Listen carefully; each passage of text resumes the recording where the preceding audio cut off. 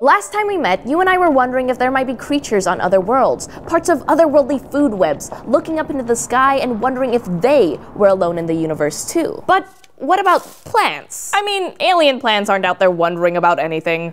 Probably. But I wonder if plants here on Earth have plant like buddies somewhere out there. Plants on other planets? It's not that big of a stretch. Why? Food webs, dude. On Earth, plants form the base of the food web. Animals can't exist without them. After all, plants take light energy and turn it into chemical energy, and when animals eat the plants, or eat the animals that ate the plants, they're consuming that energy. So, Plants are vital to the survival of almost everything on Earth. That means that if you can believe there are creatures on other worlds, you might as well believe that there are plants out there too.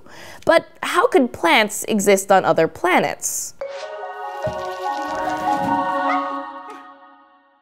Think about what plants need on Earth to survive. First, they need energy from light. Around here, they get that from the sun, but on other planets outside our solar system, they could get it from their planet's nearest star. Alien plants could then use that starlight to power photosynthesis, the system Earth plants use to create sugar from light. But they need a few other resources for photosynthesis too, like water and air. Specifically, they need a gas called carbon dioxide and a little bit of oxygen to help them use the energy that they make from photosynthesis. Plus, plants need nutrients to make the chlorophyll that they have in their leaves, which they use to carry out photosynthesis. And they usually get these nutrients from the soil. But if you're a plant, you can get by without soil, remember? In an earlier episode, we talked about hydroponics, which is a way to grow plants without dirt. Instead, the plants get the resources they need from the water and the air. So we know what plants need light, water, gases, and nutrients. Now let's check out some potential alien plants.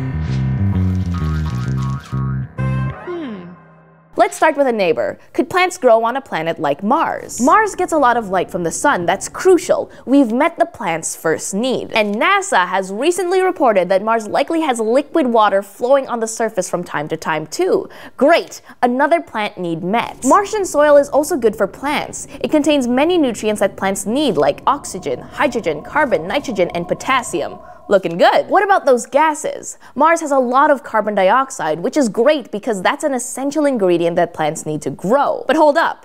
There are some other major issues on Mars that plants would have to overcome. For one thing, Mars has a very thin atmosphere, about 100 times less dense than Earth's. And it's very, very cold. For these and other reasons, we haven't found any plants there. But plants growing in distant galaxies might be perfectly adapted to environments that are totally different from either Earth or Mars. How? Well, maybe they have different tricks for capturing light, for example. On Earth, plants appear green because they absorb all the other colors from the light that comes from the sun. But what if an alien plant was on a planet orbiting a different star? Not a medium-sized yellow sun, but a small, dim red dwarf. Plants there could look red, blue, yellow, purple, or even grayish black in order to best absorb the light from that kind of star. Now, what if that planet is way too close to the star? Well, maybe its plants would thrive under rocks or in shadows to protect themselves from too much light. What about plants on a planet with low gravity? In that case, maybe plants could float like hot air balloons far above the surface, high flying hydroponic plants. So, conceivably, plants could be adapted to all kinds of alien environments. And like all living things, they would affect the environments they live in. On Earth, when plants photosynthesize, they produce oxygen.